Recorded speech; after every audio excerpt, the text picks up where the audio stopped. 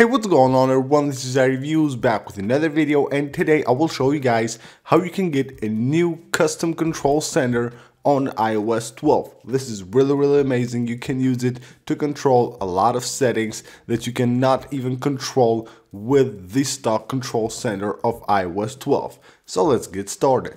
What I'm talking about here is Control Center 4. This is a shortcut for iOS 12 that will bring a second control center to your iOS 12 device. It's really amazing. It allows you to control a lot of stuff. So all you have to do is just enable it right here on the widgets page so you can have access to it easier from the widgets page like here on the home screen or lock screen and just tap on it. It will show you right here all the controls. So the first thing right here is system status and reset. So if you tap on it, it will show you here information about your device. It shows you the device name, battery level, Wi-Fi, IP address, all that stuff click OK right here. Let's go back to the control center. We have music there. There are the music controls. If you go here, you can play an album. You can find music by an artist. You can go to the playlists right here or the, to the controls.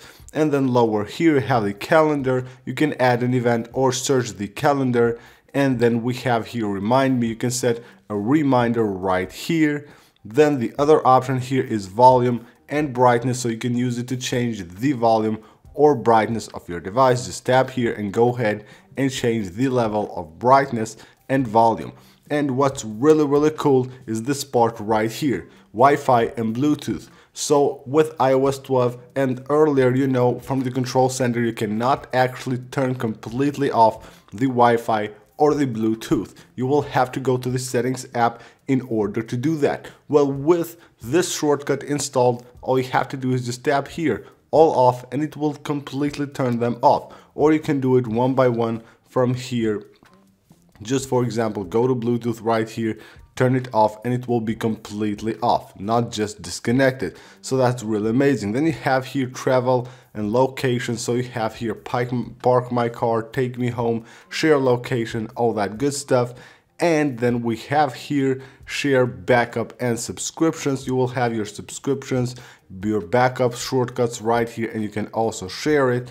And the last one is stop right here if you want to completely stop the shortcut. So this is control center 4 you can have a second control center using this amazing shortcut that you could get for iOS 12. Of course, you will have to have the shortcut app installed on your device and you will find the link to this shortcut right down below in the description of the video. So that's pretty much it for this video guys. This is how you can get a second custom shortcut on iOS 12 really amazing go ahead and give it a try it has some really useful features that's it thank you for watching and i will see you guys on the next one